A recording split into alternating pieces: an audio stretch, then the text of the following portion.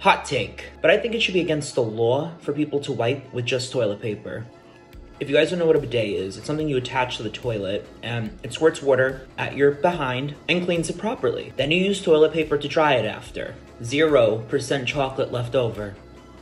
Most people, maybe not everyone, but most people who just use toilet paper to wipe, they eventually give up. And honestly, I was one of them. I'm not ashamed to admit it. I'm a changed person. I've been using a bidet for over two years and it's it's been a huge life enhancer.